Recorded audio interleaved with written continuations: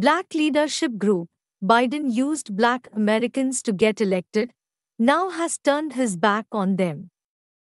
Leading up to last year's election, President Joe Biden attempted to paint himself as a champion of black Americans. However, roughly 100 days into his presidency, one black leadership group believes that depiction is far from the truth. While President Joe Biden used tonight's congressional address to pat himself on the back for his first 100 days in office, he received only criticism from the members of the Project 21 Black Leadership Network. Project 21 said in a Wednesday news release after Biden's first speech before Congress. Project 21 describes itself as a leading voice of black conservatives and is sponsored by the National Center for Public Policy Research. The policy needs of Black Americans always come last with liberals, regardless of the high percentage of blacks who support them, Project 21 co chair Stacy Washington said. Washington said Biden failed to cite any statistics in his speech supporting the claim that his administration is on track to cut child poverty in half.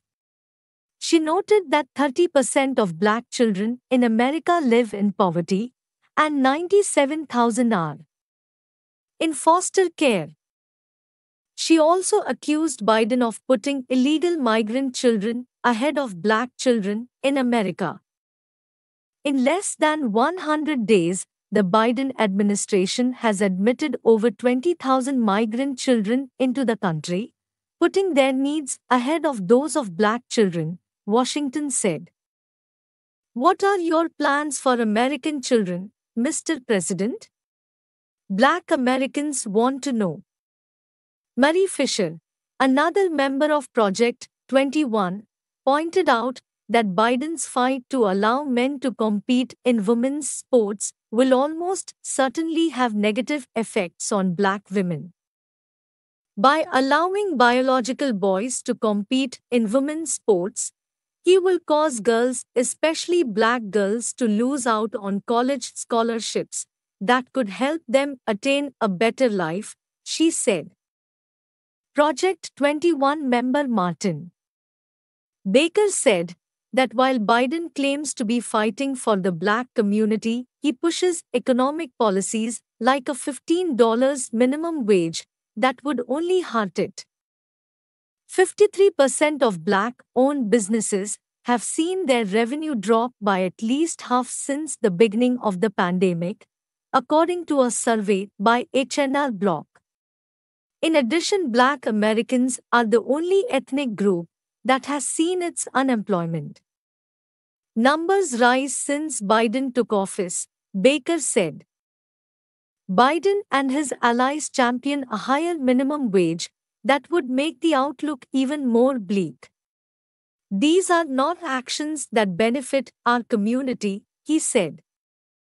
Fischer also argued that Biden's proposed $15 minimum wage would decrease employment opportunities for black youth.